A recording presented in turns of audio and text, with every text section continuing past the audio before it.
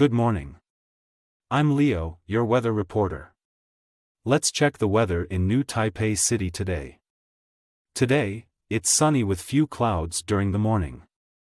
The temperature is 23 degrees Celsius. It's a warm day, so dress accordingly. Winds are strong from the northeast, so be aware if you're outdoors.